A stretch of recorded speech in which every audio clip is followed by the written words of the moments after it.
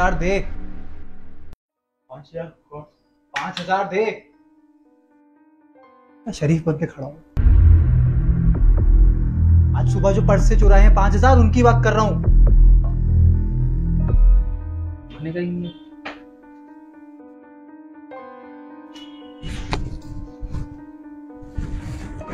भाई कमाल है। निकल जाए यहाँ से। चोर सरदार।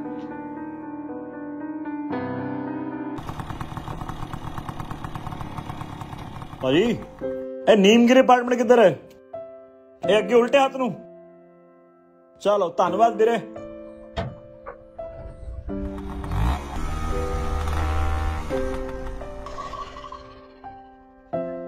आ भाई साहब रवि मित्तल जी हाँ जी हाँ जी मैं भाई साहब अभी आप ही के पास तो आ रहा था देख लो बहुत देर लगा दिया आपने ओ भाई साहब मैं तो बड़ी देर का निकला हुआ हूँ आपका एड्रेस ही नहीं मिल रहा था कोई पहले कहता वहाँ राइट ले लो आगे से फिर तंग हो के भाई किसी सियाने बंदे ने बताया है इधर आना है अच्छा ये थर्ड फ्लोर है हमारा तो सामान उतारना भी पड़ेगा।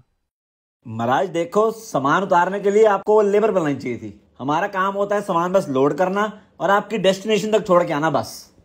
यार आप एक बात लॉजिकल बात सुनो अगर आपको सामान ले जाने के लिए बुला रहे हैं तो इंक्लूडेड भी होना चाहिए ना। अब भाई साहब वैसे होता तो नहीं है पर आप कह रहे तो आपकी मदद कर देंगे। एक हाथ आप लगा देना लेकिन एक शर्त है। भाई साहब लस्सी पिलाओगे एकदम मिठा ठोक के तो मैं आपका भाई हूँ। हाँ ठीक है ठीक है। आ जाओ। हाँ जी हाँ जी चलो। पहुंचो जी। वाहिगुरु।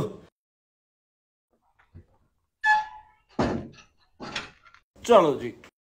अच्छा ये आपकी टी शर्ट पे क्या लिखा हुआ? है ये ये तो भाई साहब आपका नाम लिखा हुआ है रवि। मेरे नाम की टी शर्ट क्यों पहन के घूम रहा ओ भाई साहब प्यार ही आपसे इतना है।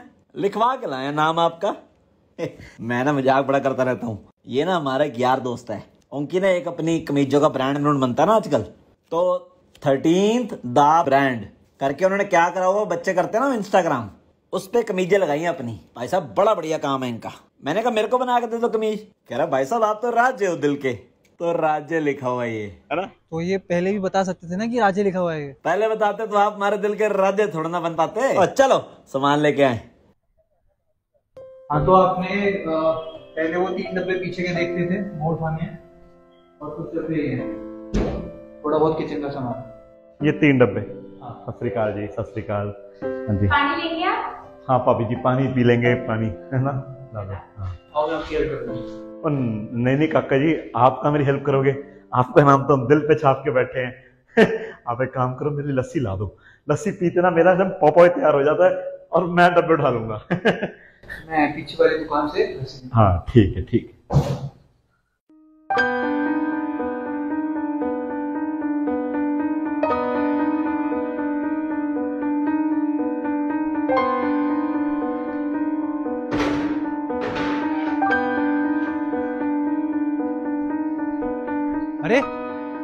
सामान उतार भी लिया? और काका जी पहलवान आदमी हम। एक मिनट लगाते सामान डाउनलोड करने में। बढ़िया। हाँ। ये लो आपकी लस्सी। राजेश जी। और thank you ji thank you so much ji. वैसे डब्बे वाली है पर कोई नहीं कम सार लेंगे। और ये नए घर का एड्रेस है। यहाँ डिलीवर कर देना सामान। ठीक है और यहाँ पे सामान उतारने की ज़रूरत नहीं पड़ेगी ऑफ़िस का लड़का है यहाँ। तो सब अरेंज्ड है। ठीक है ठीक है। कर दो। और पेमेंट ऑनलाइन हो जाएगी? क्या बात कर रहे हो? पेमेंट किसे मांगी? ले लेंगे आपसे। आप कहीं जा थोड़ा रहे हो? कोई गलती नहीं होनी चाहिए। फाइनली घर हो ही गया सेट हाँ मुझे लग भी रहा था कि तुम इतनी जल्दी कर लोगी। प्लस उन सरदार जी ने भी काफ़ी हेल्प करी। हाँ। यार अब तुम कुछ ऑर्डर कर लो। मैं बना नहीं सकती। हाँ नो इशू मैं नीचे रेस्टोरेंट का नंबर नोट करके लाया था हो ग्रेट यू हैव कैश हाँ पास माय वॉलेट एक बार देख लो नहीं तो I use the card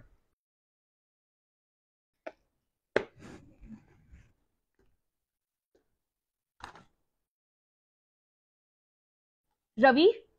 हाँ। कैश नहीं है। नहीं नहीं है मतलब? मैंने निकलवाए थे फाइव थाउज़ेंड बट कैश नहीं है अब। तो कहाँ गए? कहीं उस सरदार ने तो नहीं निकाले।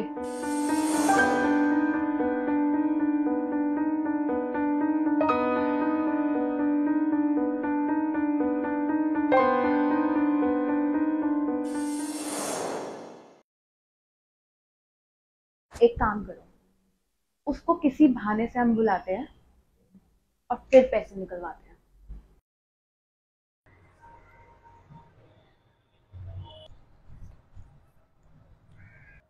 ਉਹ ਰਵੀ ਜੀ ਦਾ ਫੇਰ ਫੋਨ ਆ ਗਿਆ ਹੈਲੋ ਹਾਂਜੀ ਸਤਿ ਸ਼੍ਰੀ ਅਕਾਲ ਜੀ ਉਹ ਜੀ ਹੁਣ ਤਾਂ ਬੰਦ ਹੋ ਗਿਆ ਜੀ ਕੰਮ टाइम खत्म हो गया जी और सामान छोड़ना है क्या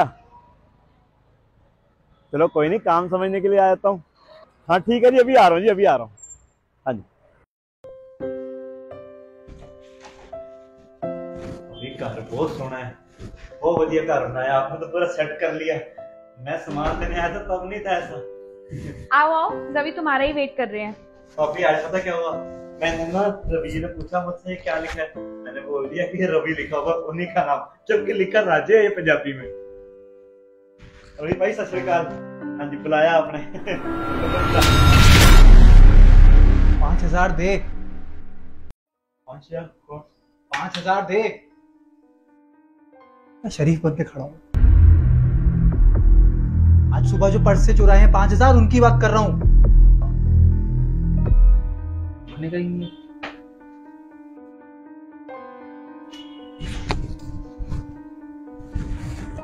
भाई, कमाल है। ये देखो।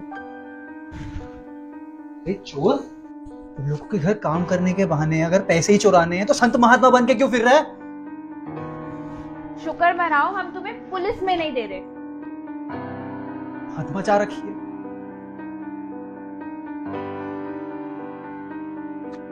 निकल जाए यहाँ से। चोर सरदार।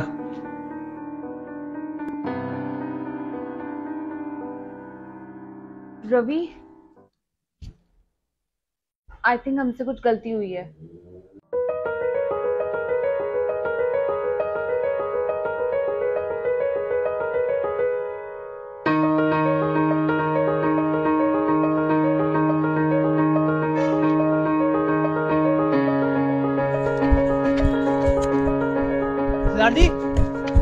सरदार जी वो आप अपने पैसे दे जाना भूल गए मैं आपको बेफालतू मारता रहा आपने कुछ नहीं कहा। और फिर मैं आपकी आपकी पगड़ी के बारे में भी बोला। तब भी चुप रहे। एक बात याद रखना आप। जब सिर पे पगड़ी बांधी है तो चोरी नहीं कर सकता। और अगर चोरी ही करनी थी तो सिर पे पगड़ी ना होती। मुझे दिक्कत ये नहीं कि आपने मुझ पे शक करा। दिक्कत इस बात से है कि आज भी पगड़ी बांधे हुए सिखों पे शक होता है कि हम भी चोरी कर सकते इसमें गलती आपकी नहीं। है कहीं ना कहीं कुछ लोग हमारी कौम के कहीं ना कहीं गुनहगार रहे हैं तो शायद ये शक बन रहा है। मेरी कोशिश रहेगी कि मैं ये शक दूर कर सकूँ और एक विश्वास दोबारा बनाऊँ। नए घर की मुबारक सर जी आप और आपकी कौन सच्चे दिल से राजे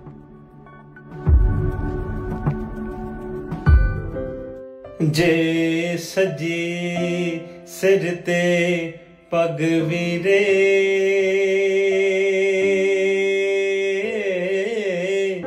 फिर किदा करा मैं चोरी नी।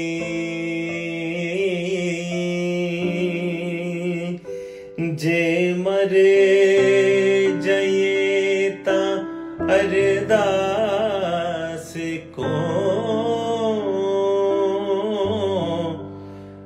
ਫਿਰ ਸੇ ਰੂਪ ਚ ਮੋੜੀ ਨੀ